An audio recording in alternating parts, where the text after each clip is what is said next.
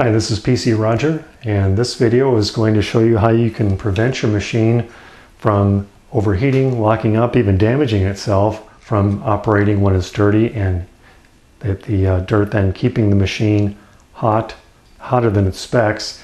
And this can cause Windows blue screen of death. It can cause the machine to actually just, just reboot uh, of its own volition, so to speak, or shut down as a protective measure. And some people don't really realize what all needs to be cleaned. Now, the first thing I want to mention is that you want to back up your machine before you begin the process. Make sure all your data is backed up. I've got a lot of help on how to do that at my website, pcroger.com. You can stop over there take a look if you have any doubt. But the kind of air that we're going to blow it out with is the canned air that you see there in the back. It's moisture free. It's designed for electrical components, uh, electrical uh, devices like computers. You can pick it up uh, awful lot of places. And what we're trying to do is get the dust and dirt and lint off of the components. The silicone chips that you see on the board will actually kind of attract dirt, especially in, in manufacturing environments. And then that dirt and dust and lint acts as an insulator, keeping those components warm, which is quite the opposite of what you want. The, uh, the fans in the machine are meant to draw air over those components and cool them, so they have to be clean. Now there are different types of video cards and, and other uh, types of components in there, but uh, this one that's in this Dell Dimension computer actually is of a fanless design. It's just a heat sink. You can't really see it too well. It's down in here. It's just the uh, a black heat sink itself.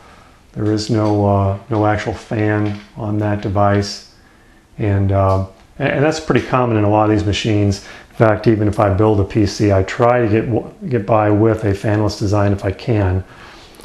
Uh, here's another video card that I'll put in front of the camera here. And as you can see, it's got a fan on it. It's only going to last so long. That's the, the first problem with it. But secondly, uh, it is going to draw a lot of air in there, a lot of dirt, and you want to make sure and get those cooling fins clean when you do clean a, uh, your PC. One of the things you will not see on a, a Dell or certain uh, you know, type of you know, big name computers is the standard uh, CPU with a fan. Uh, if you, uh, you build your own PC or something, or have a custom built PC, you'll probably see something like this. And the fan blades will collect a lot of uh, dirt and lint. You'll want to get those cleaned off. And these cooling fins, you want to make sure that there's not uh, dirt packed in there, which is oftentimes the case. Now you will need to know that uh, some of these machines do have shrouds, like this green shroud. And there can be different ways of you know unlatching them. They usually hinge in some way. These fins here need to be clean and you can blow air in through those vents to uh, you know direct it in through there to get the dirt out. There's also a, uh, a fan in the back here then that uh, is designed to pull air over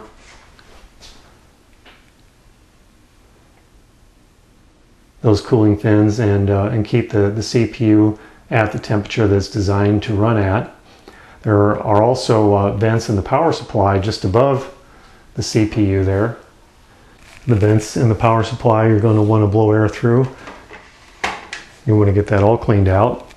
There are areas in the back of the PC and in the front really. On the back here you can see the power supply with the fan in there, fan down here. Those are areas you're going to want to keep clean. There are also many times different venting areas on the front of the machine also.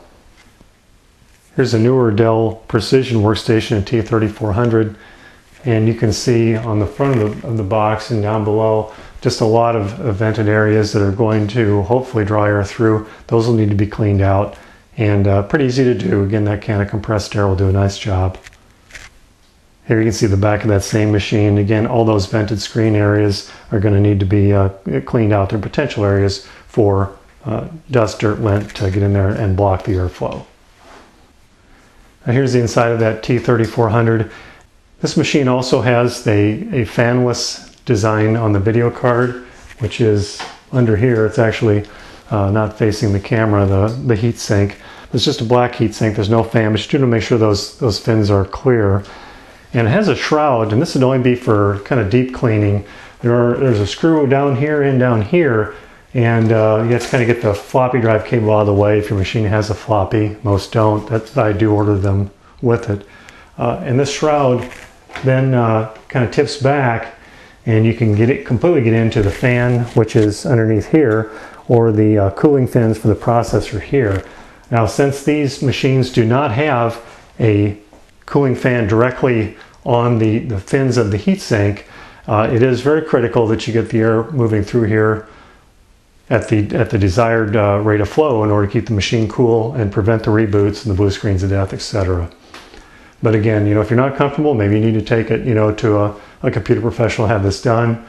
It's usually not too big of a job, and you don't have to take anything apart if it's not real dirty. But you know, can air like that, and uh, take it outside, blow it out. You're going to add life to your machine. You're going to save money by not replacing it as soon. You're going to save yourself a lot of frustration by not having, you know, the reboots and the blue screen of death and, and that, all those other types of inconveniences that really nobody wants. You just want to use your computer, get your work done, or or if you're playing on the computer, you're going to want to play, and you don't want to don't want the machine to malfunction on you. And keeping it clean is going to go a long way toward accomplishing that goal for you. That's really it for this video. Please stop by my website, pcroger.com. Got a lot of other information there. I've got videos and articles, uh, a free e-letter you can sign up for. Please stop by. I do appreciate you watching this video.